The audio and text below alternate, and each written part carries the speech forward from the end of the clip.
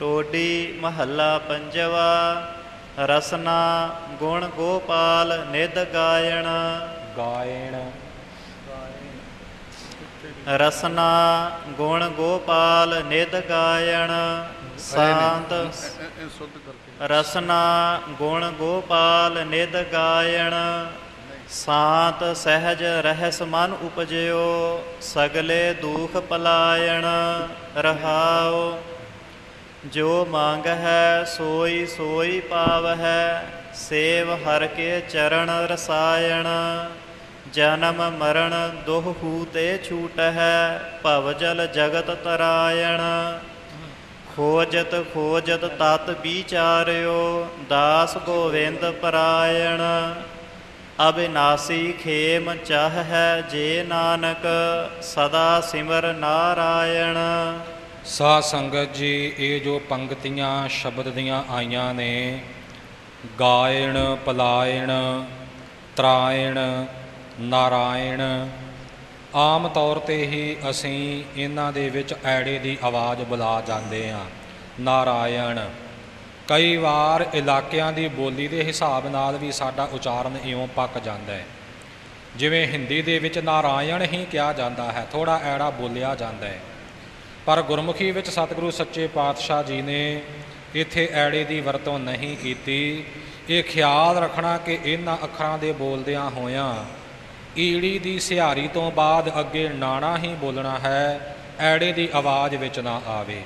ਸੋ ਆਪ ਜੀ ਦੀ ਗਿਆਤ ਹਿਤ ਮਹਾਪੁਰਖ ਸੰਤ ਬਾਬਾ ਸੁਰਜੀਤ ਸਿੰਘ ਜੀ ਇਸ ਸ਼ਬਦ ਦਾ ਪਾਠ ਫਿਰ ਦੁਬਾਰਾ ਕਰ ਰਹੇ ਨੇ।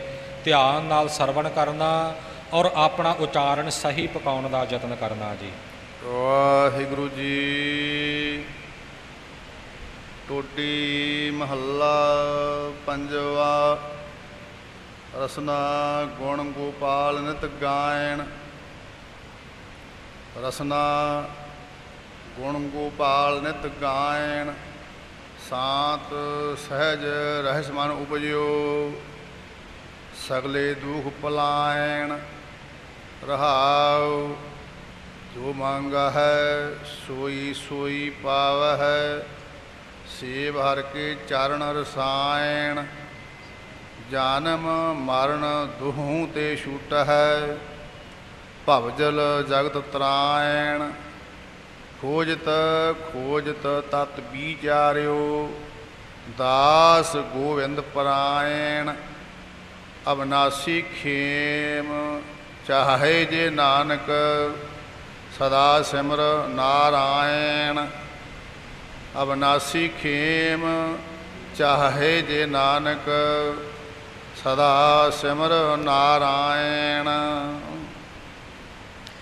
ਟੋਡੀ ਮਹੱਲਾ ਪੰਜਵਾ, ਨਿੰਦਕ ਗੁਰ ਕਿਰਪਾ ਤੇ ਹਾਟਿਓ, ਪਾਰ ਬ੍ਰਹਮ ਪ੍ਰਭ ਭਏ ਦਇਆਲਾ, ਸੇਵਕੈ ਬਾਣ ਸਿਰ ਕਾਟਿਓ ਰਹਾਉ ਕਾਲ ਜਾਲ ਜਮ ਜੋਹੇ ਨਾ ਸਾਕੈ ਸੱਚ ਕਾ ਪੰਥਾ ਥਾਟਿਓ, ਖਾਤ ਖਰਚਤ ਕਿਛ ਨਿਖੁਟਤ ਨਾਹੀ RAM ਰਤਨ ਧਨ ਖਾਟਿਓ, ਭਸਮਾ ਭੂਤ ਹੋਆ ਖਿਨ ਭੀਤਰ, ਆਪਣਾ ਕੀਆ ਪਾਇਆ, ਆਗਮ ਨਿਗਮ ਕਹੈ ਜਨ ਨਾਨਕ, ਸਭ ਦੇਖੈ ਲੋਕ ਸਬਾਇਆ।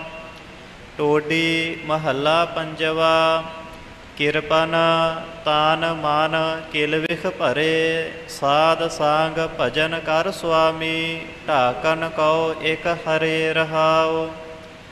ਅਨੇਕ ਛਿਦਰ ਬੋਹਿਤ ਕੇ ਛੁਟਕਤ, ਥਾਮ ਨਾ ਜਾਹੀ ਕਰੇ। ਜਿਸ ਕਾ ਬੋਹਿਤ ਤਿਸ ਆਰਾਧੇ, ਖੋਟੇ ਸੰਗ ਖਰੇ। ਗੱਲੀ ਸੈਲ ਉਠਾਵਤ ਚਾਹੈ ਓਏ ਊਹਾ ਹੀ ਹੈ ਧਰੇ। ਜਿਸ ਕਾ ਬੋਹਿਥ ਤਿਸ ਆਰਾਧੇ, ਇਥੇ ਵਿਸਰਾਮ ਹੈ, ਖੋਟੇ ਸੰਗ ਖਰੇ। ਹਾਂਜੀ। ਜਿਹੜੇ ਖੋਟੇ ਨੇ, ਉਹ ਵੀ ਸੰਗਤ ਕਰਕੇ ਖਰੇ ਹੋ ਜਾਂਦੇ ਨੇ। ਵੱਡੇ ਵੱਡੇ ਵਿਗੜੇ ਜੀਵਨ ਵਾਲੇ ਵੀ ਗੁਰਮੁਖਾਂ ਦੀ ਸੰਗਤ ਵਿੱਚ ਸੁਧਰ ਜਾਂਦੇ ਨੇ ਨਾ। ਸੋ ਇਸ ਪ੍ਰਕਾਰ ਭਾਉ ਭਗਤੀ ਦੀ ਗੁਰਮੁਖਾਂ ਦੀ ਸੰਗਤ ਕਰਕੇ ਖੋਟੇ ਵੀ ਖਰੇ ਹੋ ਜਾਂਦੇ ਨੇ ਖੋਟੇ ਸੰਗ ਖਰੇ।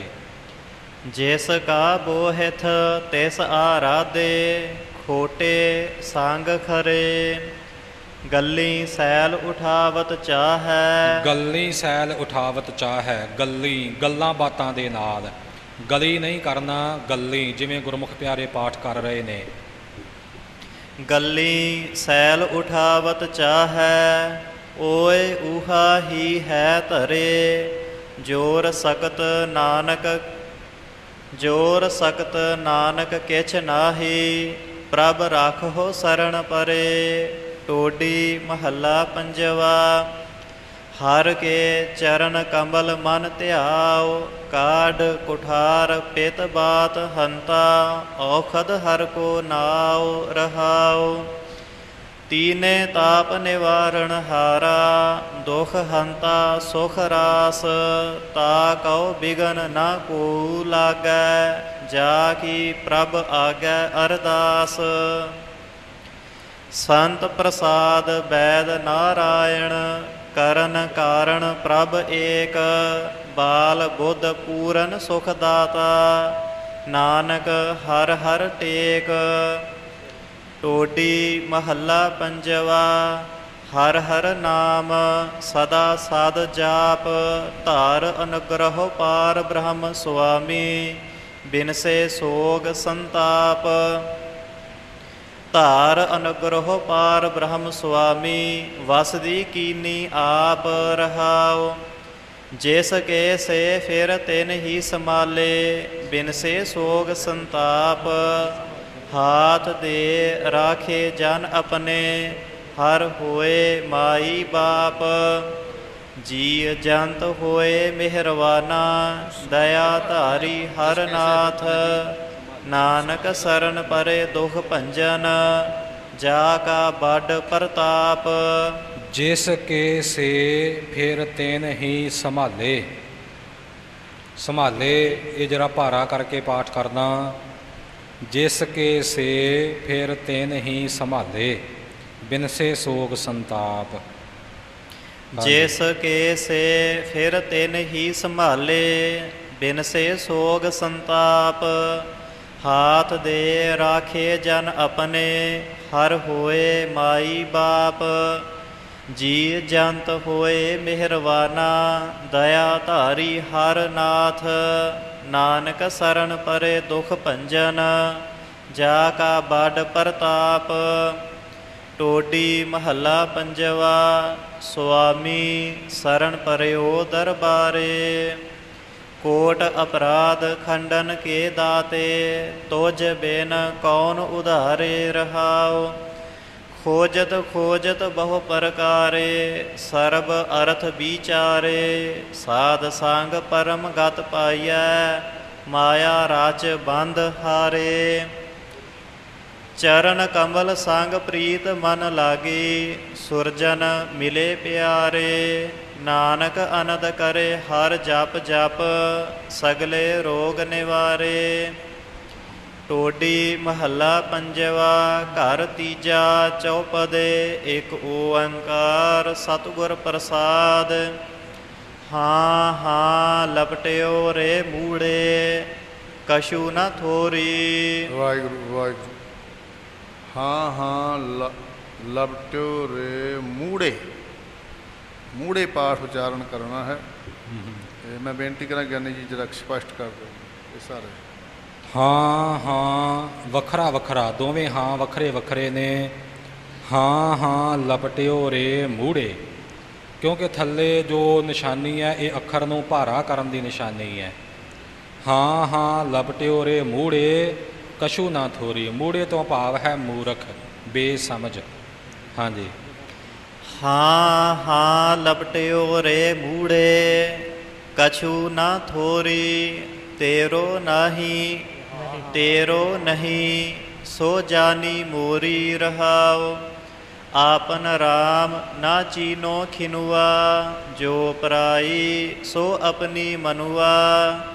ਨਾਮ ਸੰਗੀ ਸੋ ਮਨ ਨਾ ਬਸਾਇਓ, ਛੋੜ ਜਾਹੇ ਵਾਹੂ ਚਿਤ ਲਾਇਓ।